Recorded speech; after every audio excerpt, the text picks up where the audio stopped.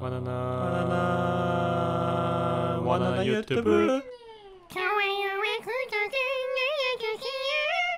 예, 정말 좀 놀라웠던 모임에 제가 최근에 다녀왔어요. 승우 아빠님이 주최하신 이제 키친 마이야르 1주년 행사. 저게 제가 제가 초대를 받아서 갔었는데요. 워낙에 대기업이신 분이잖아, 승우 아빠님께서. 그래서 나를 알 거라 생각을 못 했는데 트위치 파티 때 나한테 와나님 제가 1월 14일에 키친 마이야르 이거 파티를 하는데 오실 생각 있으시냐? 이렇게 물어본 거야. 난 믿지 않았어, 처음에. 승빠님이 아닐 수도 있다.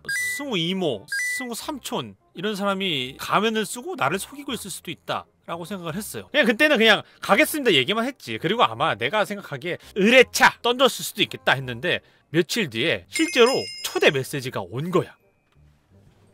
그래서 내가 이걸 받아가지고 어, 너무 감사한 거야. 그래서 아 감사합니다 했- 하고 이제 여기저기 자랑했어. 야 은별아 승우 아빠님 초대 받았냐? 못 받았다고? 야 민수야 받았냐? 못 받았다고? 이 샷거 새끼. 뭐 이러면서 이제 즐거움을 만끽하며 하루 하루를 즐기며 살고 있던 나에게 문제가 하나 생긴 거예요. 저는 그냥 그냥 그런 가만히 있었거든요. 근데 이 문장을 내가 잊고 있던 거야 너무 기뻐서.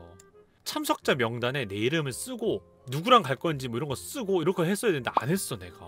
이런 메시지가 떴어 처음에 이제. 자석 배치가 불가능할 수 있습니다. 자세한 내용은 주간사를 통해 문의 주시기 바라겠습니다. 아씨 좆됐다. 괜찮아. 스탠드석으로 먹으면 되지 않을까?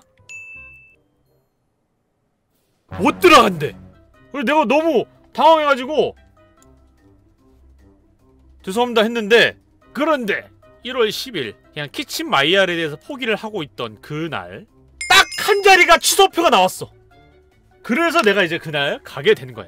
내가 시간 잘 못 맞추는데 30분 일찍 도착해가지고 어, 딱 이제 들어갔어. 드디어 키친 마이야르 입성. 딱 내려갔는데 벌써 막 저기 막 대기업들 막 있어 막. 막 오킹이 막 빠니보트라고 막 얘기하고 있고 주호민님 막 침펄 막 이런 곳에 내가 있어도 되는 것인가 야 43만 유튜버가 어디 가서 구독자 적다는 소리 듣는 사람이 아닌데 나는 너무 아무것도 아니더라고 근데 또 자리를 안 내주는데 구석에 구석 자리인 거야 근데 그 긴 테이블에 나 혼자밖에 없어 그래서 앉았는데 할 게 없어서 화장실 가서 어, 이거 안 되겠다 여기 혼자 있으면 굉장히 민망할 것 같아 근데 내 머릿속에서 딱 떠오른 게 거기서 작업하기 진짜 뛰어나갔어 저기 차 트렁크 열어가지고 막 작업 이렇게 꺼내가지고 막, 막 돌아와가지고 딱 자리에 앉으려고 내 자리에 갔는데 내 옆에 긴 자석이 있으면은 내가 요 끝에 이렇게 자석을 하고 있었는데 여기랑 여기에 누가 앉아있는 거야 그게 짬타수아님이랑 소니쇼님이었어 짬! 쇼! 와! 딱 모여서 안녕하세요가 나와야 되는데 서로 와 소니쇼님 닮은 사람. 와 짬타수아님 닮은 사람. 이 사람들도 와 와나나님 닮은 사람. 거짓말이야 세, 세 5초 동안. 이러고 있었어. 거짓말이 아니고 진짜로 앉았어 소니션이 닮은 사람한테 안녕하세요 그래서 짬타수아님 닮은 사람한테 안녕하세요 했는데 갑자기 소니션이 닮은 사람이 혹시 와나나님이신가요? 소니쇼님? 그러니까 소니쇼님이더라 그 앞에 있는 분 짬타수아님? 어, 짬타수아님이더라 내가 소니쇼님하고 짬타수아님하고 엄청 막 친한 건 아니지만은 그래도 아는 얼굴이 있는 게 어디야 너무 반가웠는데 이게 여러분 어색함의 조합 첫 번째가 뭔지 아세요? 세 명이 있는데 두 명이 친한 경우입니다. 그러니까 내가 할 수 있는 게 함부로 대화를 끼어들 수가 없으니까 그렇죠. 그래요. 추워요. 추임새를 하면서 내가 한 건 그거였어. 그 둘 바지가를 잡고 이 대화에서 저를 버리지 말아주세요. 그런 느낌으로 이제 막 말을 계속 걸고 있었어. 근데 이제 거기서 다행스럽게도 테스터운이 등장한 거야. 딱 앉아서 야 훈아 너무 오랜만이다 반갑다 어쩌고 저쩌고 막 얘기를 하는데 어색함의 법칙 2 내가 아는 사람이 있다 하더라도 나 빼고 세 명은 또 친할 때 훈이랑 짬타 전에 막 얘기하고 소니씨랑 얘기하는데 내가 어, 그래도 나도 대화할 수 있는 그 양상이 두 가지로 들었어요. 막 아 맞죠. 그렇죠. 그래. 더워. 반말과 존댓말을 섞어 쓸 수 있는 그래 다재다능한 언어 인플루언서가 되긴 했었어요.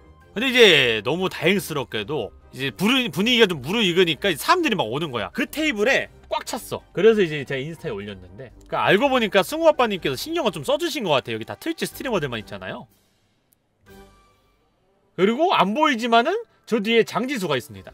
그리고 이제 신기했던 사람 중에 한 명이 침착맨님.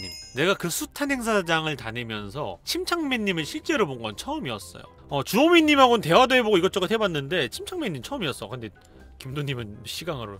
너무 신기해가지고 이제 심창맨님한테 갔어. 근데 이제 심창맨님 너무 너무 친절하고 감사한 게 아니 심창맨님은 사실 날 못 알아봐도 상관이 없고 앞에서 대화 중인데 아무리 봐도 이제 틈이 안 날 것 같아서 저 죄송한데 혹시 사진 한 장 가능할까요? 이렇게 말씀드렸던 터였거든. 완화나다. 어 안다고 막 지하철 광고에 붙어있던 것도 받고 어 막 이렇게 말씀을 해주시는 거야. 심창맨님하고 내가 대화를 하고 있는 거야. 내가 어머 이게 무슨 일이야? 내가 심창맨님과 대화를 하고 있다고? 심창맨님이 할 수 있는 되게 좋은 대화 주제가 뭐가 있을까? 그럼 주호민님이 딱 왔어. 그럼 이제 무슨 대화로 주제를 해야 될까? 주호민도 일상적인 얘기만 하시는 거야. 어, 어떡하지?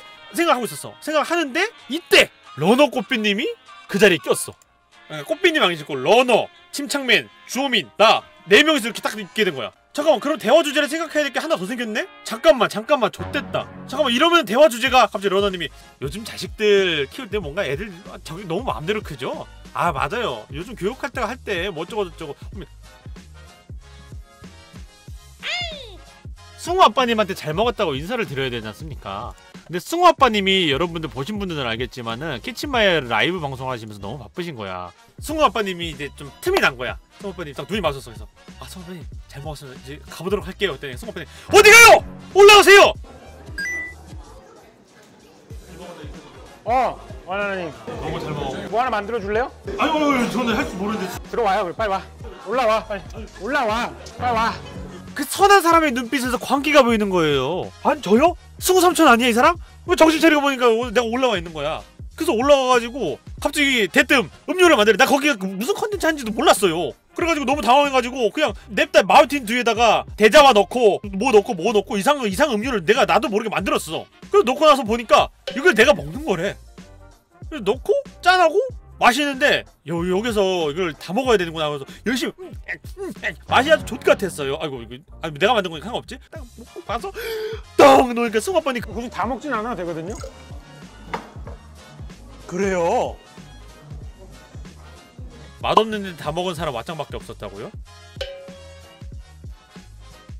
근데 형이 맞아 내가 3월까지 세 번 재방문하기로 했거든? 음식 진짜 쩝니다 여러분 마이야를 꼭 오세요 마이야르를 꼭 오라는 아니, 사람이 지금 1년 만에 왔어요? 초대를 안 해주셔서 이게 제가 가도 되나 누가 식당에 초대를 하면 가요? 밥을 먹고 싶으면 오는 아. 거지. 3월 내로 여기 세 번 이상 재방문합니다 저. 아, 오케이요. 좋습니다. 오시기 전에 꼭 전화 주시고 네. 그럼 제가 예약을 좀 도와드리도록 하겠습니다. 아 가도 되나? 아 근데 거짓말이 아니고 세 번이 그 과한 것 같진 않아. 근데 내가 세 번을 과하지 않다고 생각하면서 말할 수 있었던 게 뭐냐면요. 딴 것도 진짜 맛있었는데 수비드 돼지로 이제 스테이크를 해주신 게 있어서 먹었거든요. 혀에서 그때 맞았던 그게 머릿속에서 잊혀지지 않아요. 이게 돈마코거든요. 와 너무 미친 거야. 이게 너무 폭력적인 맛이었어요. 나는 그래도 같은 값이면은요 한 번 먹었을 때맛 겨울질 하면 당연히 소가 더 위라고 생각했는데 이 메뉴에 한해서는 그 어떤 소보다 훨씬 나았어요. 제가 이거 먹고 재방문 의사를 강하게 다짐했어요. 이게 유린기. 이게 처음 음식으로 나왔는데 진짜 개쩔어요. 이 파도 다 처먹었어 진짜. 그냥 싹싹 골라서. 저는 진짜 요즘 일주일에 한 번, 이주일에 한 번은 꼭 서울을 가고 있으니까 승우 아빠님에게 전화 계속 주기적으로 좀 드릴 것 같아요. 하나 걸리는 건 뭐냐면은 너무 많은 썸녀들을 데리고 가면